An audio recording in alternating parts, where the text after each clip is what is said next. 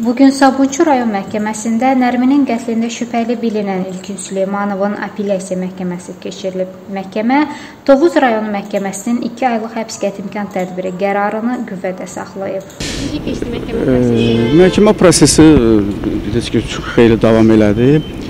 Biz 2 maddə ilə təqsirləndirilir və 2 maddə üzrə təqsirləndirilir. 120.2.9 bir də 145 e, maddələrlə təsdiqləndirilir. Tovuz rayon məhkəməsi tərəfindən barəsində e, həbs qətimkan tədbiri seçilmiş seçilmişdir və müdafiə tərəfi e, həmin qərarın ləğvi ilə bağlı apellyasiya şikayəti vermişdi və bu gün həmin apellyasiya şikayətinə baxılırdı Sabunçu rayon məhkəməsində. E, uzun araşdırma getdi, amma məhkəmə hesab elədi ki, indiki halda e, deməli həmin qərar dəyişdirilə bilməz. Ona görə də e, müdafiə tərəfinin apellyasiya şikayətini təmin eləmədi. İlkinin vəziyyəti necə idi, fiziki durumu? Çünki qohumları düşünür ki, ilkinə işgəncələr verilib, bu yüzdən də o cinayəti etiraf edib. E, onun sağlamlıq durumu heç də yaxşı deyil. Çünki biz e, məhkəmə prosesində e, məhkəmə prosesindən qabaq biz xahiş elədik ki, bir 10-15 dəqiqə bizə görüş imkanı yaradılsın və məhkəmə o imkanı yaratdı. Biz onunla mən söhbət elədik, onun sağlamlıq durumu ilə də maraqlandıq. Onun xeyli bədəndə xeyli xəsarətlər vardı. O xəsarətlər özü də bir-bir göstərdi. Həmin xəsarətləri hansı şəraitdə ona yetiriblər? Bu barədə məlumat verdi. Yəni prokuror da e, deməli iştirak eləyirdi. Məhkəmə üzvləri, hakimlər də yəni bunu eşidirdi. Yəni məhkəmə araşdırması boyunca bu məsələ yenidən gündəm, gündəmə gəldi və eyni zamanda biz vəsatətlə çıxış elədik ki, bu məsələlər eyni zamanda digər prosessual pozuntular istintaq dövründə bunların araşdırılması ilə bağlı e, qərar çıxarılsın və baş prokurorluğa göndərilsin ki, bu istiqamətdə mənim araşdırmalar getsin. Aha.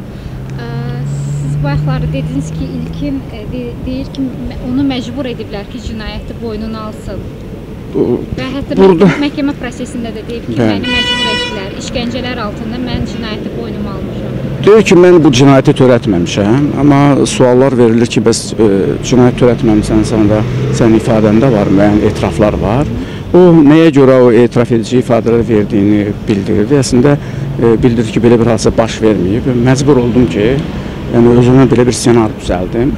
Və bu ssenari də e, deməli əvvəlcədən bütövlükdə uydur- uydurulmuş ssenari deyildi. E, hər hansı bir sual verdikcə o suala uyğun e, necə uyğun gələ bilər, belə e, bu formada bir ssenari e, uydurduğunu bildirdi və növbəti suala uyğun bax belə ardıcıllıqla çalışırdım ki, bir ssenari uydurum. Yəni qabaqcadan e, başdan e, axıra qədər uydurulmuş bir ssenari deyildi. Amma bildirir ki, bu bir ssenaridir. Əslində mən bu hadisəni Nə törətməmişəm. kimi işgəncələr verilib?